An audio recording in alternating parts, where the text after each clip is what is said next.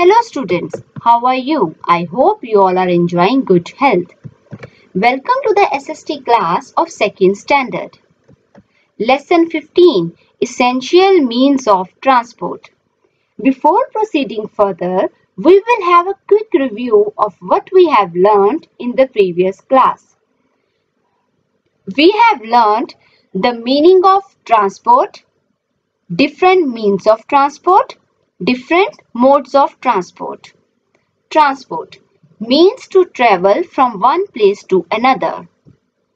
Land transport, transport that moves on land. Modes of land transport in villages, bullock cart, tonga, cycle. Modes of land transport in jungles, elephants and horses.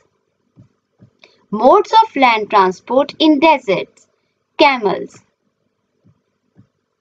Modes of land transport in cities, car, truck, train, bus, metro train, auto rickshaw, cycle, rickshaw. Most of the modes of land transport run on petrol or diesel. Modes of air transport. Air transport. Transport that moves in air. Modes of air transport are helicopter, aeroplane, air jet, hot air balloon, parachute. Helicopter, air jet and aeroplane run on white petrol. Hot air balloon and parachute are used by the people for recreational purposes. Students, today I am going to discuss modes of water transport. Water transport.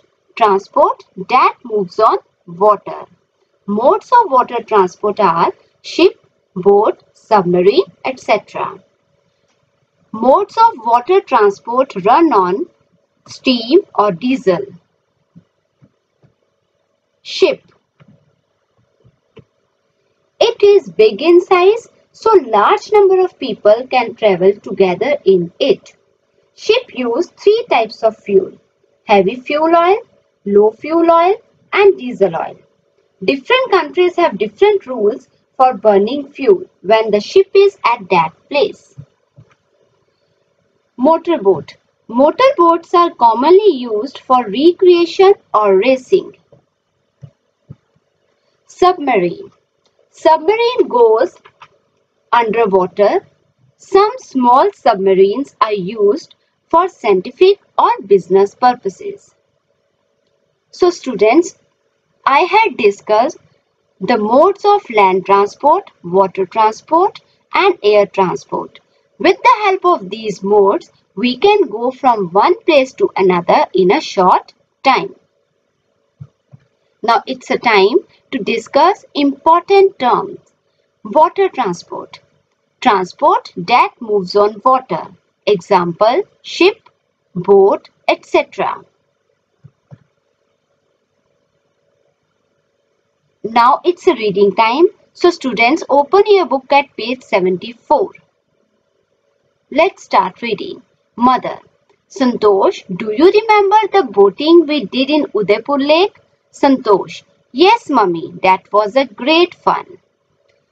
Now, mother told Santosh about the boating that they did in Udaipur Lake.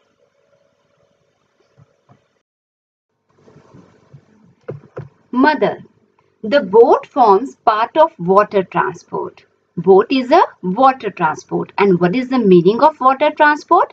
Transport that moves on water like ship, boat, submarine, etc.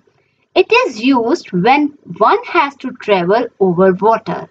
Underline travel, write down the meaning, move. But when a large number of people have to travel together, then they use a ship. Underline together, write down the meaning jointly. As the size of the ship is very big. So, in ship, large number of people can travel together. Daddy. So Santosh, we have land, air and water transport. These forms of transport are used by people in different parts of the country according to their choice and needs. Underline choice, write down the meaning, option. Underline needs, write down the meaning, requirements. Or in Hindi, we can say zarurte. So students, we have land, air and water transport. The selection of different means of transport depend on your choice or option. It means you can choose any means of transport according to your wish. At the same time, it depends on your need also, on your requirement also. If you have plenty of time, you can go by car, bus or train. But if you have short or less time or you have to reach early, then you will select fast mode of transport like aeroplane, trains like Shatabdi, etc. Even you should have enough money also for the selection of means of transport as air transport is more expensive than land transport. So students, I hope the meaning of this line is clear to you. All these are the essential means of transport. So I have discussed all the essential means of transport. What is the meaning of essential? Important. And what is the meaning of transport? Means to travel from one place to another. Now it's a time to read fact. In Britain, people known as lollipop men and women help children cross dangerous roads outside schools. Underline dangerous, write down the meaning likely to cause damage. Now, see the picture of lollipop men and women in Britain. They help the children to cross the dangerous roads. So students, I hope this chapter is clear to you. Now your homework is to read page 75 again Watch this video and do exercise A and B of writing June on page 77. Thank you.